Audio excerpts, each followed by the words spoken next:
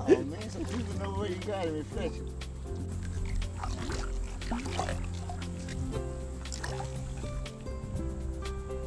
Turn it around sideways.